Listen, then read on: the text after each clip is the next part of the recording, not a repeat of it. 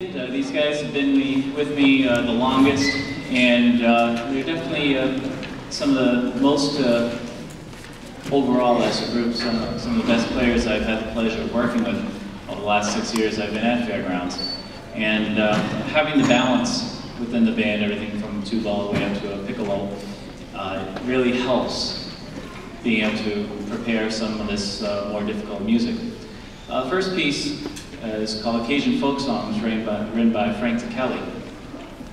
And it's actually based on two authentic uh, folk songs uh, from the uh, uh, that part of Louisiana where the Cajuns are. And if you know anything about your, uh, if you know anything from history, I didn't until I got to college and heard about this. I guess I was absent that day they talked about this.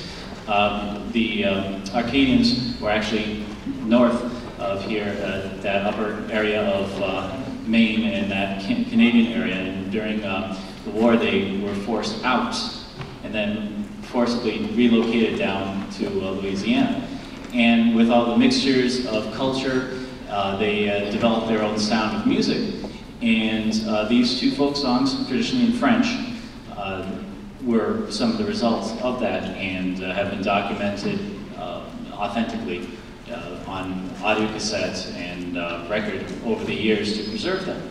So Frank Ticheli took two of the pieces, uh, two of the movements, and arranged them for band. So this is Frank Ticheli's Cajun folk song.